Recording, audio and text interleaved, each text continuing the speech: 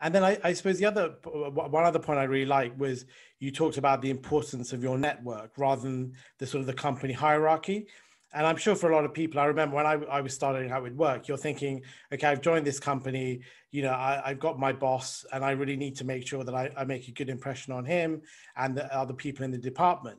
But actually, I think you know, nowadays, as we were talking about, it's really your sort of network, that sort of flat structure of people that look, if things happen and you lose your job, they're the people who'll, you know, potentially have intelligence for you about new opportunities or help you out or just, you know, be, be there to, you know, give you ideas. Um, don't you think so? The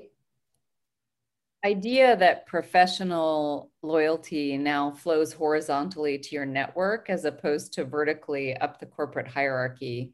uh, I think is really powerful. And maybe it's a not and instead but like certainly if you're in a company and working your way up you have to manage your own stakeholders and manage up and down but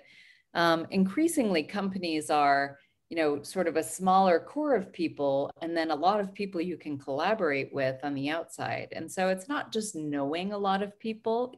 in my opinion. Um, it's also taking those um, small bets to collaborate with other people and taking opportunities to work with people to see it, you know, how you work and how how well you work with other people and um, and even just you know different ways to collaborate and